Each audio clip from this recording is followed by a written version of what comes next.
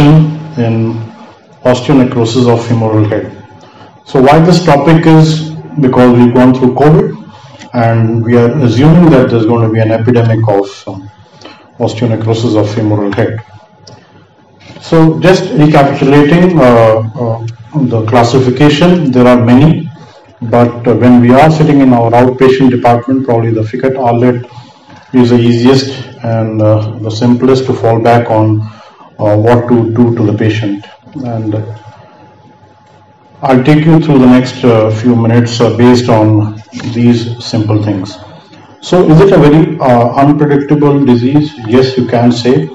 But are there any objective ways to check on day one uh, whether we can predict? So, if you uh, most of the standard textbooks now have this modified uh, Kerboul method of assessment of the necrotic area, which is the mid sagittal and the coronal plane. And if you add them up, and if it is less than 190 degree, there's a very low risk of collapse. And if it is more than 240, it is almost 100%. So, uh, if you go for a PubMed search and you put avascular necrosis of hip, the first article which comes in is this one. And of course, uh, because it is Sanjay Agarwala, who's worked uh, on this topic for over two and a half decades now. And uh, the good news in literature is that we are still not flooded with post-COVID AVN. The reasons could be the cumulative dose of steroids which patients have taken, which have not probably reached the classical uh, uh, 2000 milligram. However, this case report suggests that post-COVID AVN can happen even uh, with a smaller dose. And another thing which this says is that it can happen earlier than the normal time it takes to happen. If you have to have a post-steroid induced AVN, normally it happens from 8 months to 1 year after exposure to steroids. But this report talks about uh, it can happen within 5 months. But fingers crossed, uh, we still don't have that epidemic of AVN. There is a buzz in the um, non-peer reviewed uh, literature, the grey literature, which says that it is happening. You talk to your colleagues, most of them would say that there is an increase in the incidence, but it is all anecdotal. So, uh, can we uh, preserve the hip? Yes, we can, and uh, there are various ways of doing it non-surgical and surgical. And uh, the, the, the, procedure which stands in the middle is called decompression, and most of us know about it. So, uh, let's take uh, one of these at, at a time. So, we are conserving the hip, so it should actually should be the non-surgical ways, and there are various uh, which need to be done like restricted uh, weight bearing, which is also part of surgical uh, procedures. Various lifestyle modifications like uh, you know uh, weight control, restriction of alcohol intake, controlling the diabetes. That is where the pharmacological agents have come in, in which you have uh, lipid lowering drugs, anticoagulants, vasodilators, and bisphosphonates. So remember these anticoagulants. These are also given with steroids in COVID. So maybe uh, that's helped out in not uh, having an epidemic of uh, AVN. And then there are various uh, other techniques which don't stand uh, the peer-reviewed uh, literature, but they still are there. So this is an excellent recent publication in JBJS American by Sanjay Agarwala team, which talks about non-surgical treatment of avascular necrosis of the hip. And uh, they have been using alendronate for the first decade and the next decade they used alendronate with intravenous uh, zoledronic acid. And they have shown an excellent survivorship of treatment uh, on medical care for AVN. Obviously, they have not included uh, the stage 4 where the arthritis is set in but they have included uh, the stage 3 where there is a collapse and they have had a reasonable success up to around 50% uh, and they say that there could be a salvage uh, and they're very uh, hopeful in this new regimen where they use oral alendronate and IV zoledronic acid for three years. And definitely the advantage of this is uh, earlier relief of pain and improvement of Harris score.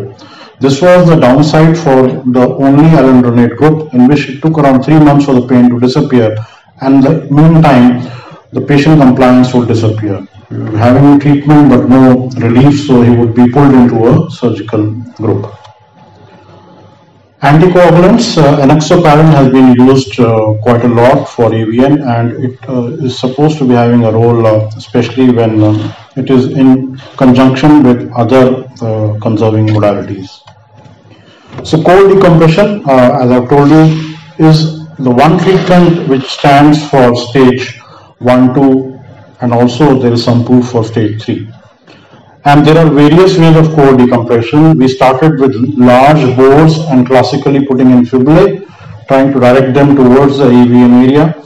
But we've now stabilized to a procedure in which we use a 3, 3.2 or 3.5 mm drill bit and do multiple drill holes using just one entry point and directing them in various direction. The aim are two, to decompress an area which is which has high pressure and the drilling process itself brings in vascularity and helps healing.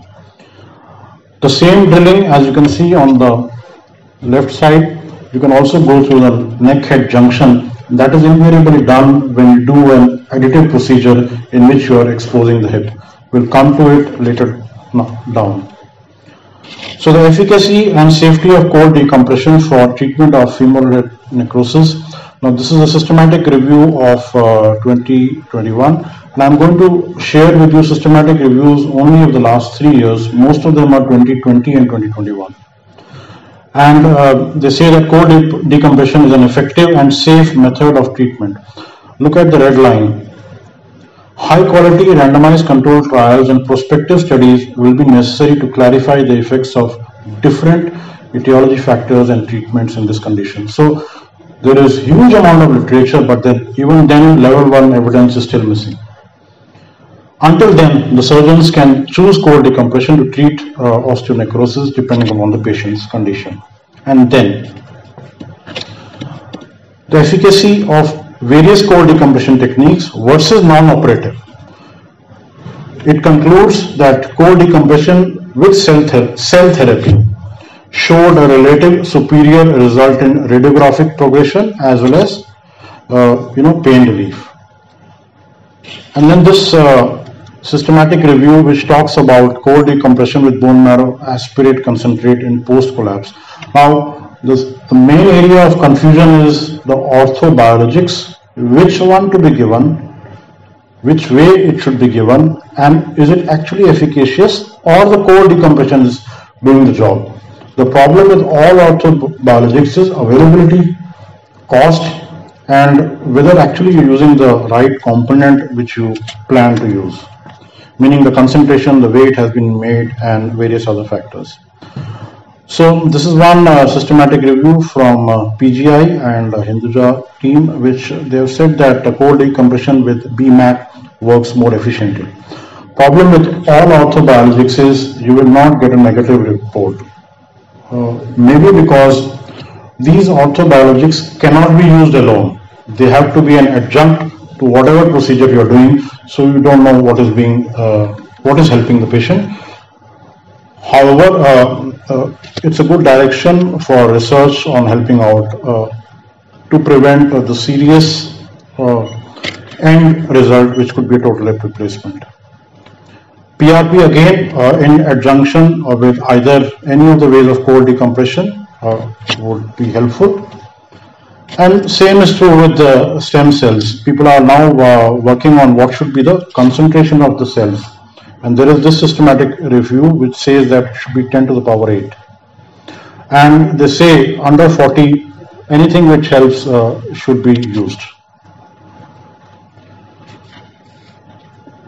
And this tantalum rod came with a big buzz around five years from now, uh, and it went up like any other procedure went through a plateau and it's now actually phasing out because we really don't know whether it works and uh, in the cases where it had to be converted to a total hip the amount of metallosis was huge and incorporation of the, the rods were very, very poor.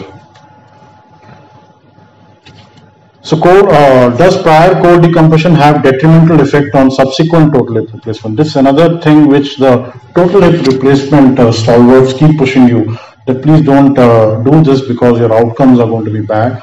But then for core decompression, there is uh, literature now, this is actually a systematic review, which says that it doesn't affect. It is only about core decompression, not other procedures.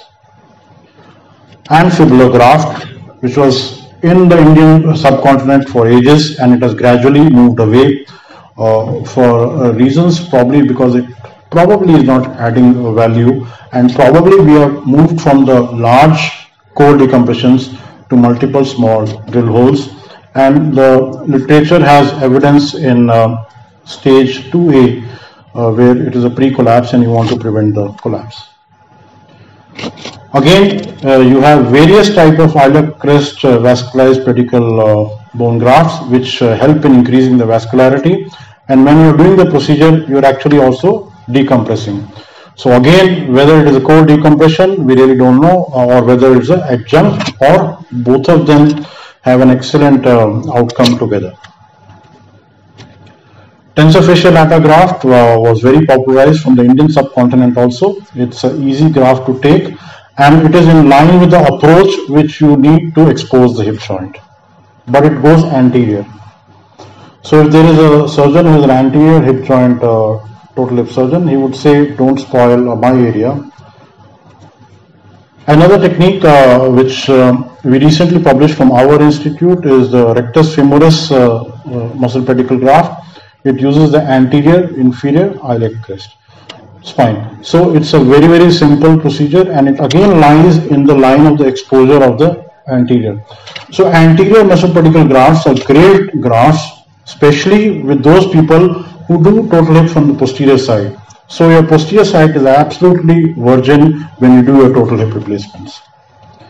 And then there are grafts on the back side. The Meyers is the most popular and the most published for avascular necrosis. And this is a great graft for the people who go from the anterior side or the lateral side. So they have their anterior side totally virgin when they're going to do a total hip replacement. Again, if you see the colorful picture on the last, we've done this modification in our institute where we don't cut the rotators.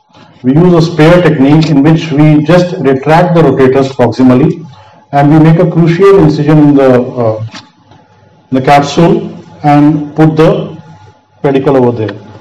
So this uh, probably enhances uh, the outcomes because we are we are doing uh, less of damage by uh, cutting the rotators.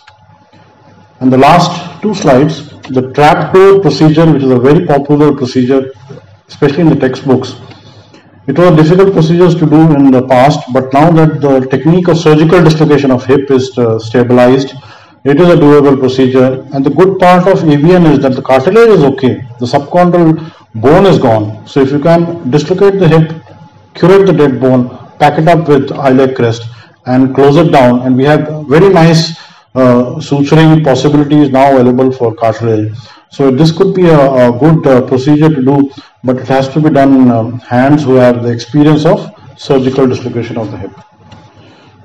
The last osteotomies, uh, which uh, did play a role, they still have a role, but they're going out because they are actually indicated when you already missed the bus probably. It's probably the stage uh, 2B where there is a collapse or it's uh, stage 3 uh, where there is a clear-cut collapse and you're trying to offload the area and uh, the osteotomy in itself increases the vascularity of the proximal femur, uh, femur by around 200 times so you're hoping that there would be revascularization but most of the osteotomies bring in an implant and they also change the anatomy of the proximal femur. Both of these are detrimental if this procedure fails. And we are already doing it in a, in a stage where it is uh, shouting at you that probably we missed the bus. The Sugioka osteotomy, which is a rotational one, is a very, very successful osteotomy in the popularizing surgeon, but it's not been picked up by most of the others. So if I had to conclude uh, on hip preservation, for avascular necrosis of the hip, I think uh, there is a huge role. And uh, if you look at Sanjay Agarwala's paper uh, in uh, stage 1, 2, and 3, there is a survivorship of around uh, between 75 to 80 percent, and that's a huge uh, percentage. And core decompression is going to be the mainstay of treatment even now. And age is an issue. We are facing patients who are 18, 16, 20, and that tilts the whole treatment process towards uh, salvage uh, sort of a procedure. So we, we need to sort of uh, look at those procedures. And once there is a stage 3, the collapse has already occurred, you need to be very rational about uh, taking a call on what should be done to that patient. So thank you very much for your attention. Thank you, Dr. Manik, for the on today, which is uh,